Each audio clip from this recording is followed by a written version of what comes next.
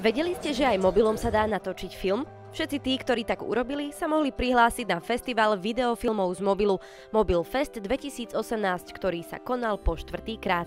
Taký celkom, celkom prvý nápad bol, keď moja dcera bola na veľkom festivale filmovom Brazílii a tam jedna celá sekcia bola venovaná mobilom a tým, týmto filmom. Prihlásených bolo rekordných 41 filmov, ktoré boli rozdelené do štyroch kategórií podľa veku, deti, študenti alebo dospelí a špeciálna kategória videoklip na tému ako ušetriť s ISICom.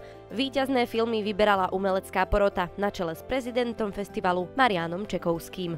Som veľmi šťastný, že som pre, prezidentom kreatívneho festivalu, čo znamená, že deti tvoria aj s mobilom v ruke, čo neznamená, že sa hrajú, ale že sa hrajú s niečím, čo je realita a vnímajú tú realitu cez ten mobil. Je to veľmi dobré a veľmi prospešné tieto nové generácii a dúfam, že nerobia pravopisné chyby, keď píšu SMS-ky, takže preto to uznávam, že tá kreativita aj tá mobilná technológia spolu môžu vytvoriť nových umelcov.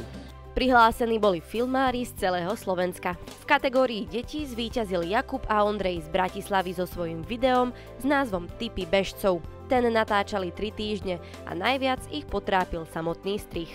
Lebo e, pozeral som na našich rodičov, ako behávajú, tak, tak som vymýšľal niečo vtipné, nejaký sketch a napadli ma typy bežcov. Výhercovia si domov odniesli vecné ceny, čo iné ako mobilný telefón. Inak všetci diváci si môžu filmy pozrieť, sú stále zavesené na stránke mobilfest.eu a môžu popozerať, že či naozaj oni by dali hlasy tým filmom, ktorým my. Veronika Haberová, televízia Košice dnes.